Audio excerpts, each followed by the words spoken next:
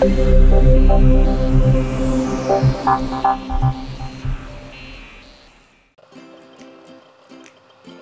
कुछ दो ही टैग्स हमारे पास यहाँ पर अवेलेबल है, जो पेंडिंग थे हमारे।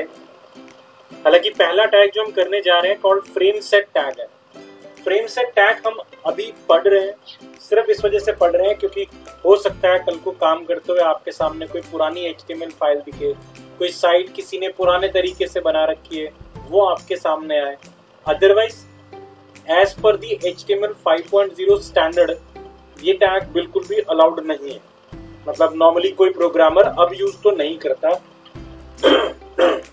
सॉरी पहले भी वार्निंग सी थी कि आप इस टैग का यूज़ ना करें। वो क्यों ना करें, मैं वो भी बताऊँगा बट पहले हम इस टैग पे काम करते हैं। ये सिर्फ़ इसलिए बताया जा रहा है बिकॉज़ कोई पुरानी वेबसाइट पर आप इनकाउंटर आप देखो तो हो सकता है कि ये टैग लगाओ हो सकता है आपको वो ये कहें कि इसको रीडिजाइन करनी है तो आपको पता होना चाहिए कि एग्जैक्टली फ्रेम सेट पहले कहाँ यूज़ में आ रहा था और अगर ये किसी डिज़ाइनर ने लगाया हुआ है तो उसका अल्टरनेटिव क्या है? हम उसकी जगह पर क्या लगा सकते हैं आज की आज की डेट में तो खैर जो काम अब कर रहे हैं, वो बहुत सारे और तरीके हैं करने के। ठीक है?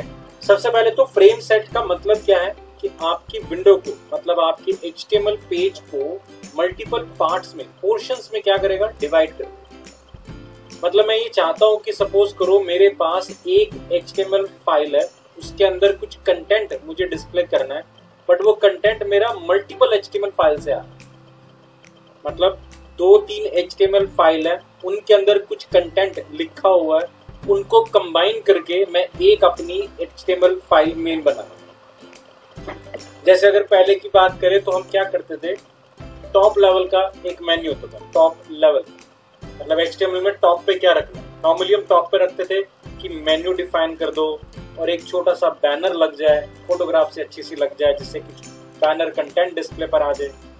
फिर लेफ़्ट साइड लेफ़्ट वाले साइड में भी हम कुछ मेन्यूज डाल देते थे और बीच वाले सेंटर साइड में बचे को हम क्या डालते थे? सारा कंटेंट तो मतलब हम इस तरह से डिवाइड करते थे अपनी स्क्रीन को। अब क्योंकि मेन्यूज सपोज़ करो मेरे 10-15 पेजेस हैं मुझे मेन्यू हर पेज पे चाहिए होता है। अब या तो मैं मेन्यू का कोड बार बार राइट करूँ, या फिर हमने कहा था कि आप फ्रेम सेट यूज़ कर लो, कि मेन्यू की अलग से एच फ़ाइल एच फ़ाइल बना के उसे अपने फ्रेम सेट के थ्रू क्या इंक्लूड कर हालाँकि आज की डेट में हमारे पास बहुत सारे ऑप्शन हैं। हम प्रेफर करते हैं कि मेन्यूज अलग अलग फाइल्स में ही जाएँ सो दैट कि एक्टिव इनएक्टिव वाले स्टेटस को भी हम क्या यूज़ कर सकते बहुत सारे बट फ़िलहाल अभी इस एग्ज़ाम्पल में हम तीन एचटीएमएल फाइल्स को कंबाइन करके एक एच फ़ाइल बना तो मैं तीन एच फ़ाइल पहले बनाता हूँ। ये मेरी फ़र्स्ट एच फ़ाइल है, जिसे मैं टॉप पे रखना चाहता हूँ। तो मैंने टॉप पे रखने के लिए एक एचटीएमएल फ़ाइल और अंदर बॉडी टैग के अंदर। इवन आप ना भी लिखो बॉडी टैग कंटेंट क्योंकि हम मेन फ्रेम के अंदर बॉडी टैग वगैरह डाल रहे हैं। तो हम डायरेक्टली भी स्टार्ट कर सकते हैं कि मैं यू बना रहा हूँ एल आई डिफाइन कर रहा हूँ और एल आई में होम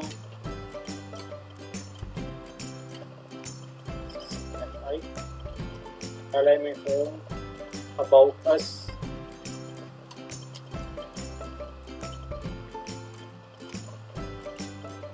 कॉन्टैक्ट ये मैंने सिर्फ़ टॉप पे डाल। ठीक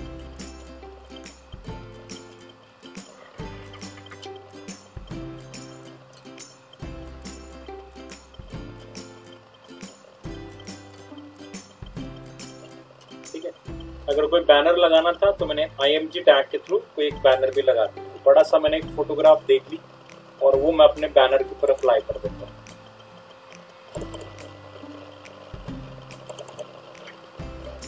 I take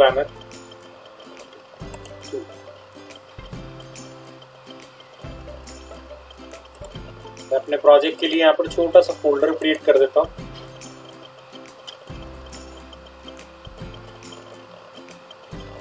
यहाँ पर एज पर स्टैंडर्ड क्योंकि मैं इमेज यूज़ कर रहा हूँ so I put the image in IMG folder बनाते हैं, या कई बार हम इमेजेस का फोल्डर सो आईएमजी और इमेजेस ये चॉइस आपकी है कि आपने अपने इमेजेस का फोल्डर का नाम क्या रखा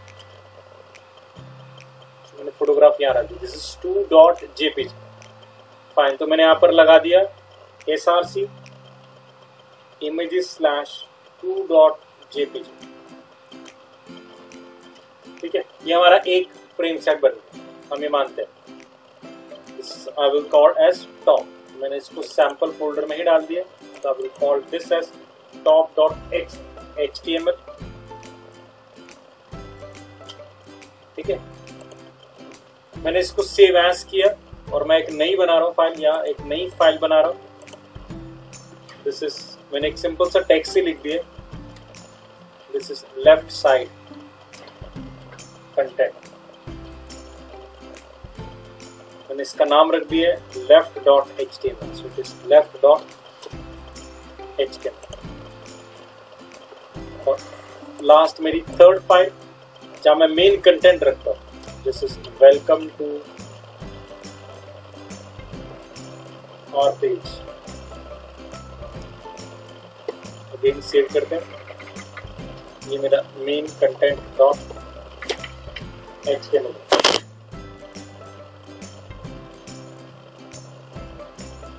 L this is our main content dot T तो तीन फाइल्स मेरी यहाँ पर डिफाइन हुई है अभी तक। मेरी सैंपल वाले पेज के अंदर अगर देखें तो तीन फाइल्स डिफाइन है। Left main content and top अब इन तीनों को लेकर मैं एक अपनी मेजर फ़ाइल बनाऊँगा, जिसमें मैं तीनों फ्रेम्स को इंक्लूड करूँगा अपने तरीके से कि मुझे कैसे इसे इंक्लूड करना है। कैसे मतलब व्यू किस तरह से रहेगा। जैसे मुझे पूरे टॉप पे क्या रखना है? लेफ़्ट रखना है। फिर टॉप वाला रखना है। फिर लेफ़्ट और राइट में क्या रखना है? मेन कंटेंट रखना है। तो हम क्या बनाएँगे? फ्रेम बनाएँगे। नाउ मेन फ़ाइल जो हमारी बनेगी, हम उसमें अपना एक्सटीएमएल कंटेंट वगैरह, सब कुछ फ्रेम वगैरह, वो सब कुछ अब हम डिफाइन करेंगे। सो मैं अपनी मेन फ़ाइल के ऊपर आता हूँ। Now, this is my main file. Html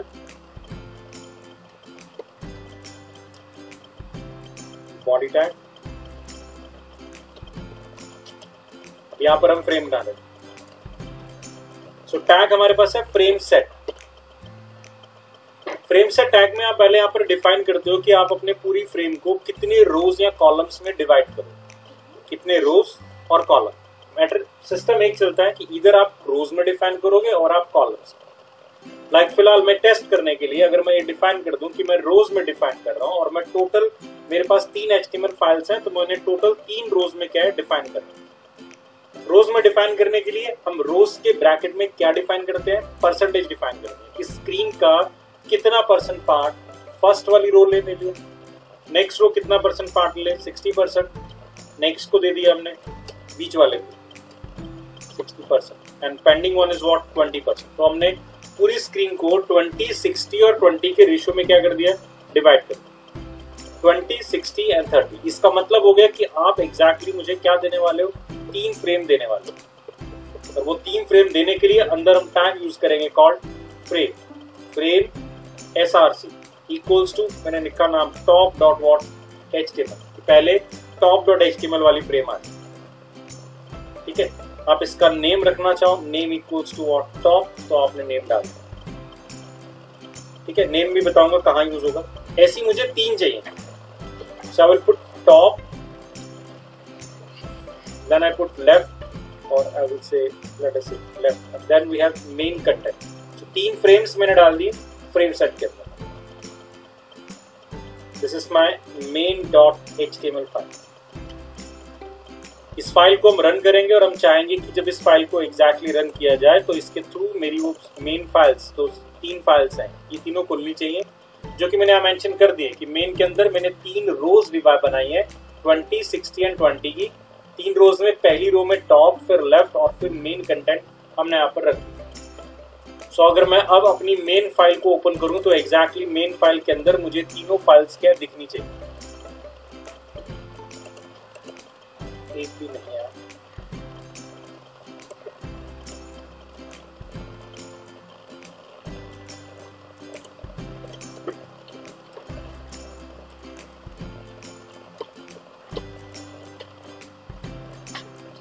change और शेड्यूल में ये भी देखना पड़ेगा हमारा प्रॉब्लम लाइक तो हमने फ़िलहाल इसको तीन रोज में डिवाइड किया था। ये फ्रेम सेट हेड टैग के अंदर आएगा तीन रोज में डिवाइड किया था, तीन रोज में।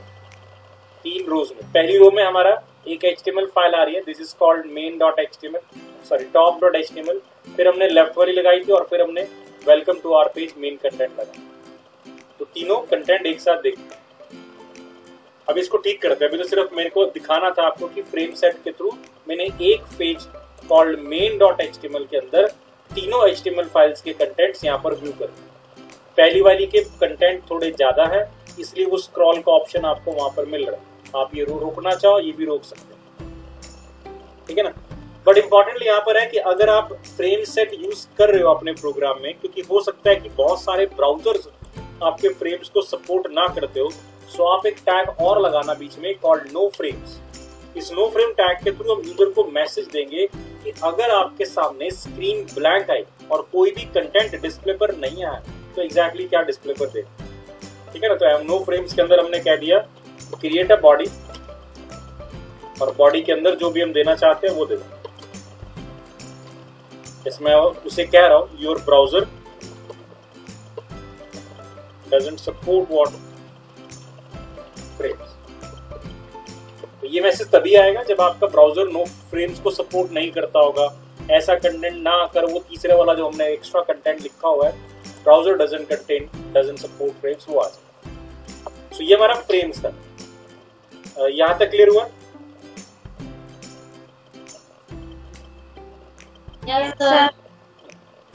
चल अब इसको थोड़ा सा ठीक कर दें पहले तो। जैसे हमें क्या चाहिए था? टॉप वाला चाहिए था टॉप के ऊपर। वो ऊपर चाहिए था। उसके बाद लेफ़्ट में चाहिए था लेफ़्ट वाला और राइट में चाहिए था मेन कंटेंट अभी तो क्या हो गया? तीन रोज में डिवाइड होगी और उसके accordingly one two three rows define होगी ट्वेंटी सिक्सटी और फोर्टी के अकॉर्डिंग अब हम आगे करते हैं। हमें क्या करना है? ये वाला तो टॉप पे चाहिए। लेकिन यहाँ पर मुझे दो कॉलम चाहिए एग्जैक्टली लेफ़्ट साइड वाला और वेलकम टू आर पेज मतलब लेफ़्ट और राइट में आने चाहिए। रोज में नहीं आने चाहिए। तो इस चीज़ को ध्यान में रखते हुए हम अपनी पूरी स्क्रीन को अगर देखें तो इनिशियली क्या करेंगे? हम अपनी पूरी स्क्रीन को दो इस तरह से पार्ट में डिवाइड करेंगे कि हमारे पास एग्जैक्टली exactly है ही क्या? दो रोज है। तो हमारी ये इस तरह से क्या बनेगी? दो रोज बनेंगी। या हम टॉप वाला डाल देंगे फ़ाइल अपनी जो टॉप की फ़ाइल है। ठीक है? और जो नीचे वाला पोर्शन है, इसमें हम फर्दर मतलब दो रोज पहली रो में टॉप वाली फ़ाइल आ गई। दूसरी रो में फ्रेम डालने की बजाय फिर से एक फ्रेम सेट डालेंगे और उसे दो कॉलम्स में क्या करेंगे? डिवाइड करेंगे। यहाँ हम लेफ़्ट वाली फ़ाइल डाल देंगे और यहाँ हम अपना मेन कंटेंट डाल देंगे। सो so एग्जैक्टली हम क्या करेंगे? पहली रो बिल्कुल ठीक है। फ्रेम सेट रोज पूरी स्क्रीन को हम एग्जैक्टली हम दो रोज में डिवाइड करेंगे पहले। टॉप और ये बॉटम वन सो दो रोज होंगी ट्वेंटी और बाय दैट इज़ से थर्टी बाय सेवेंटी की आपने दो रोज बना दो रोज है। अब इसके बाद हम इस पूरी रोज को को दो रोज में तो डिवाइड कर दिया है। पहली रो में हमने अपनी फोटोग्राफ डाल दी फाइन बट दूसरी रो में हम फिर से क्या डालेंगे? फ्रेम सेट डाल फ्रेम सेट और यहाँ पर हम क्या डिफाइन करेंगे? कॉलम डिफाइन लेट अस से 20 परसेंट कॉमा स्टार भी दे सकते हो आप। नहीं कि बाकी बचा हुआ लिखना बिकॉज़ ट्वेंटी परसेंट स्टार्ट का मतलब है कि पहला ट्वेंटी परसेंट हो गया बचा हुआ सारा नेक्स्ट पर आ जाएगा। सो so, अब यहाँ हमने फ्रेम सेट में क्या किया? देखो ऊपर पहले रोज बनाए थे। पहली रो डिफाइन कर दी। अब हमने कॉलम्स बनाए और ये दो अपने आप किसमें चले जाएँगे? कॉलम्स में चले जाएँगे। ठीक है तो अब मेरे पास यहाँ पर दो फ्रेम सेट्स और एक फ्रेम सेट यहाँ पर और क्लोज होगा। So I do that frame set close करते हैं। सो मेरी स्क्रीन कुछ इस तरह से डिवाइड होगी जैसे हम चाह रहे थे। ये टॉप रो लेफ़्ट साइड का कंटेंट एंड राइट साइड ठीक है? रोज एंड कॉलम्स में इस तरह से डिफाइन ना अब इंपॉर्टेंट है फ्रेम सेट के अंदर ही नेम का मतलब। जैसे अभी तो तीनों का नाम हमने क्या रख दिया? नेम रखा मैं इसका नाम सपोज़ करो मेन रखता हूँ। और इसका नाम हमने क्या रखा? लेफ़्ट रखा। अब देखो, ये तीनों एच फाइल्स है। अलग अलग अलग अलग का मतलब होता है कि अगर अबाउट अस पे क्लिक पे आपने कोई पेज ओपन करवाया हुआ है तो वो इसी के अंदर खुल जाएगा। यही खुल जाएगा। चेक करके देखते हैं जरा। हम अबाउट अस वाले टॉप वाले पेज पर आ रहे हैं। हम उसको एडिट कर रहे हैं।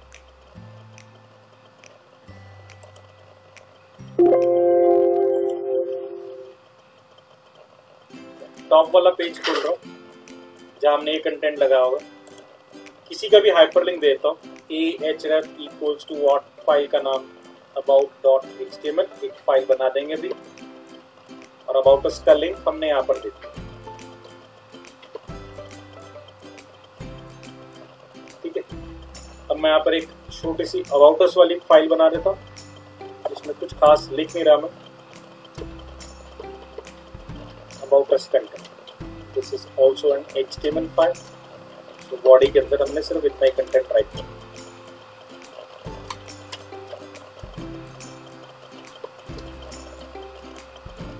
This is about us now इससे होगा क्या? आउटपुट चेक करते हैं, फिर इसको समझते हैं। हमने टॉप वाली फ़ाइल के अंदर अबाउट अबाउट अस का हाइपर लिख दिया। अपनी मेन फ़ाइल को देखते हैं। ये तीन अलग अलग एचटीएमएल फाइल्स थी ओपन होंगी।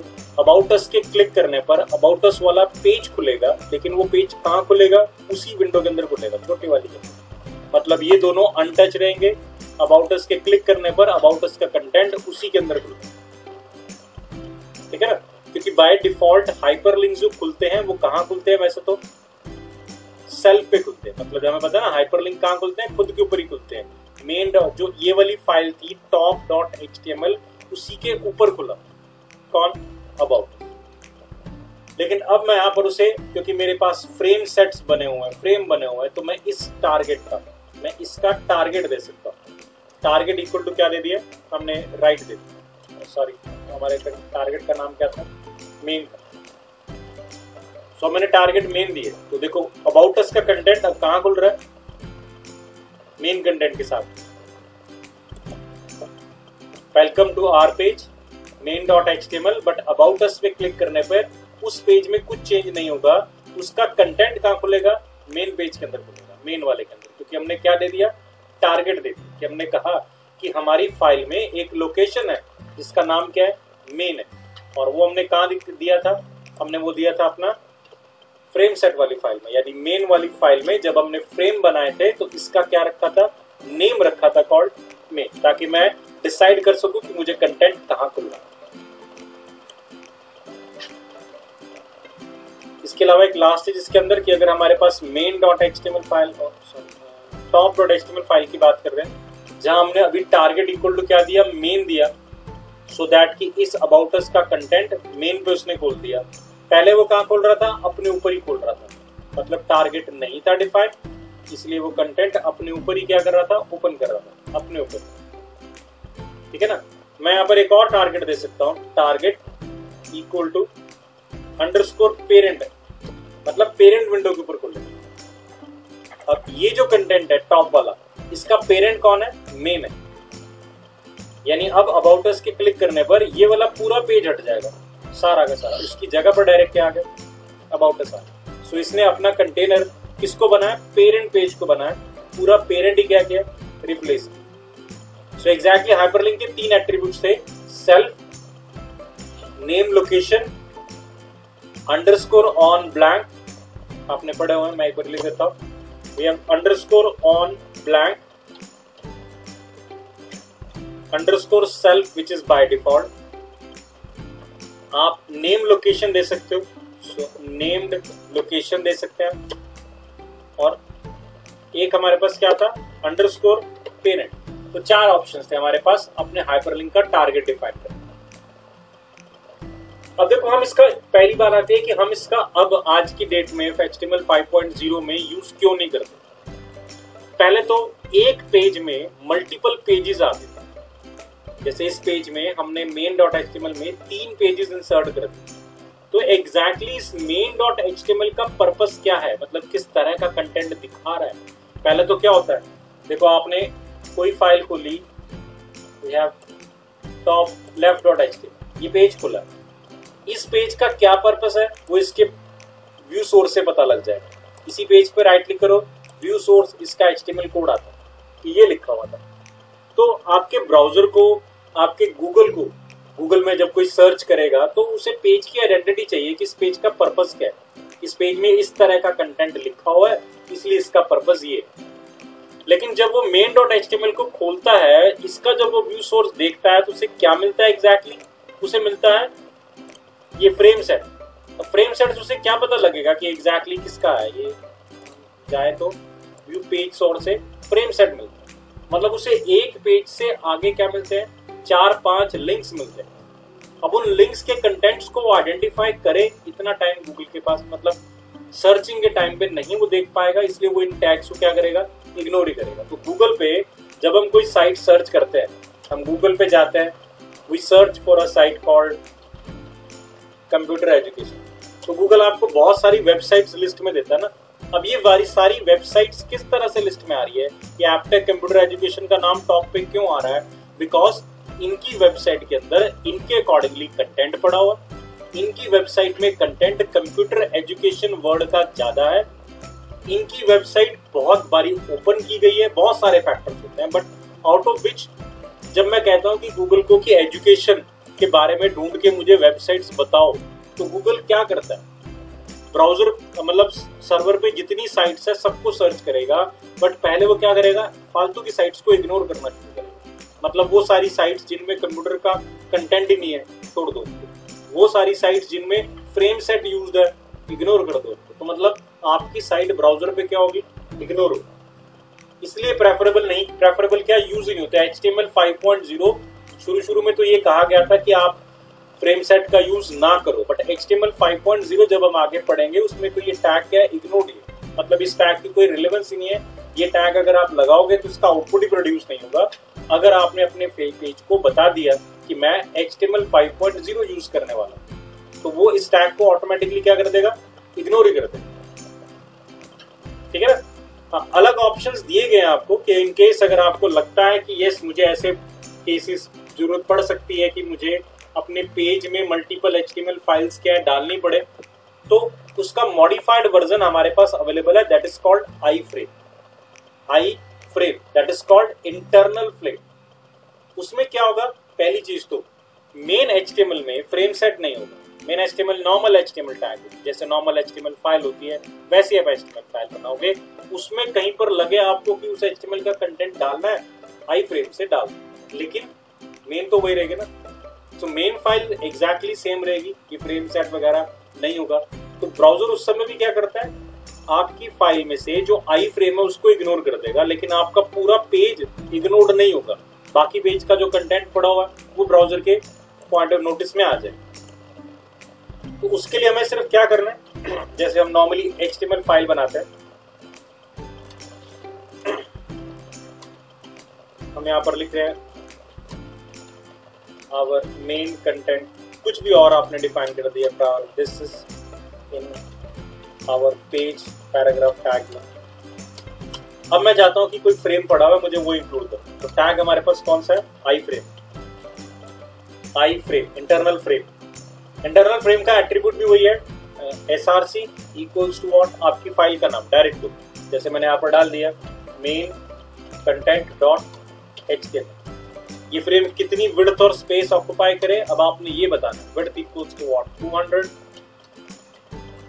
height equals to what 200 ठीक है ये हमारा new dot HTML file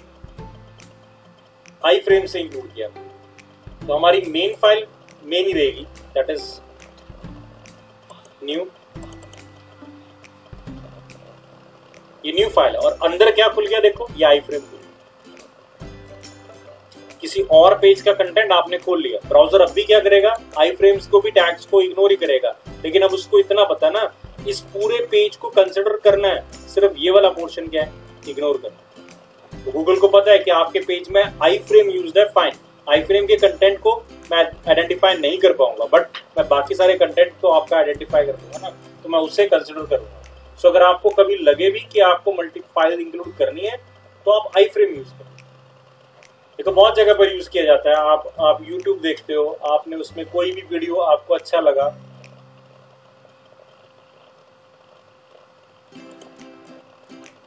कोई वीडियो आपको अच्छा लगा अब ये वीडियो मुझे अपनी अपनी साइट के अंदर डालना है।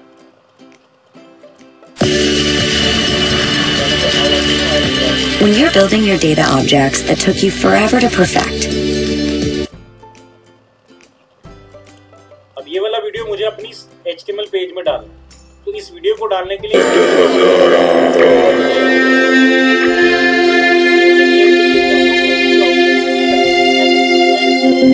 एम्बैड में अगर आप जाओगे तो देखो क्या इंक्लूड कर रहा है वो आई फ्रेम इंक्लूड कर तो एग्जैक्टली तो आपको क्या करना है आई फ्रेम की जगह पर? अगर मुझे ये वाला सारा टैग समझना नहीं है तो I can include this URL this URL जो मैंने अभी फ़ाइल डाली थी कॉल्ड एच मेन कंटेंट की जगह पर एच की जगह पर मैं क्या डाल रहा हूँ? वो यूट्यूब का यूरल डाल अब मैं अपनी एच फ़ाइल चेक करता हूँ। New one is not supported जब ये विंडो आइकन आ रहा है ना तो इसका मतलब है ये शायद सपोर्टेड नहीं है इसके अंदर। फिर भी हम एक बार पैरामीटर चेक कर लेते हैं, क्या?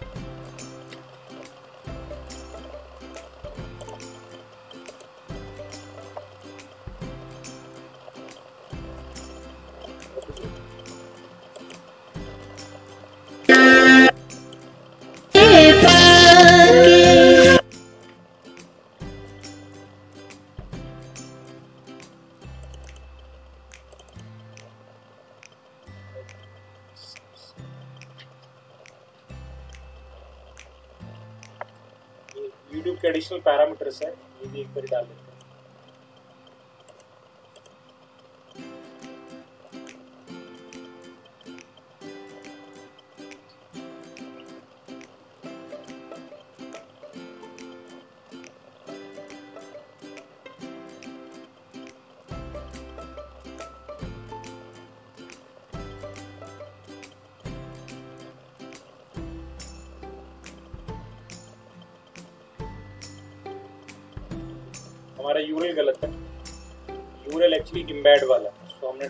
पेज का यूरल डाल दिया।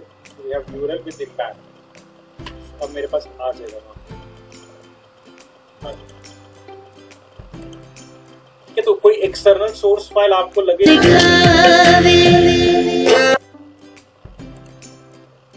तो कोई एक्सटर्नल फ़ाइल मुझे लगता है इंक्लूड करना है, कोई लिंक मेरे पास है जिसे मुझे इंक्लूड करना है तो उसके लिए हमारे पास इंस्टेड ऑफ़ फ्रेम सेट आप अपनी एच फ़ाइल में कहीं पर भी क्या डाल सकते हो?